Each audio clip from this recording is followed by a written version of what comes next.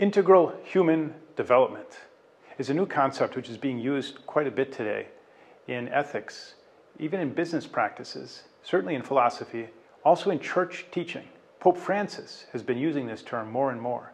He used the term integral human development, for instance, in his encyclical on social doctrine called Laudato Si, Praise Be, which is a reference to a quote from St. Francis of Assisi, which, in, by which he's, he wanted to communicate that we must all praise God through the beauty and the goodness of his creation.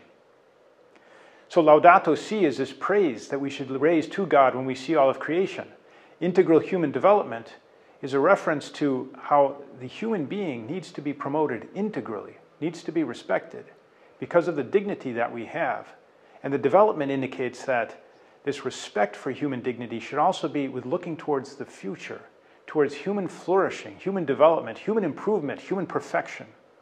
Not just of one, one of us singular, singularly, but to the entire community.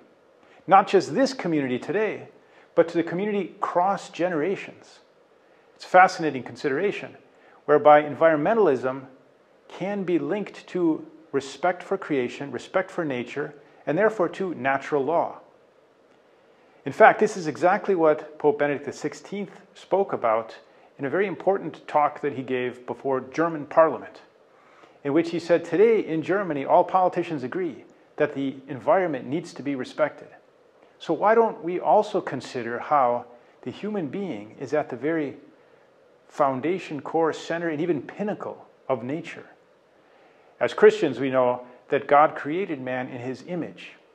The human being, man and woman, is at the height, the pinnacle of all creation.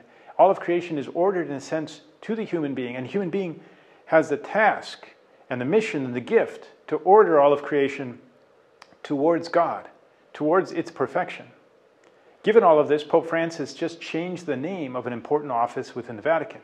What used to be the Pontifical Council for Justice and Peace is now called the Dicastery for Integral Human Development.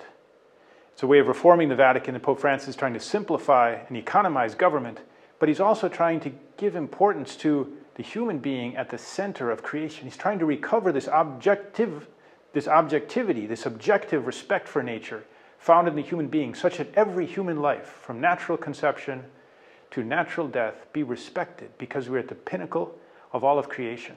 And that this be respected also across generations, so that when we deal with anything in, in nature, in creation, in the environment, we think about our children and our grandchildren.